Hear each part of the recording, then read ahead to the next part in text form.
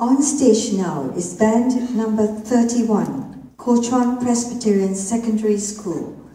They will be presenting two pieces, Gavotte by Dr. Kelly Tang and In All Its Glory by James Swearingen. Let's welcome Kuo Presbyterian Secondary School and their conductor, Mr. Ho Kong Fu.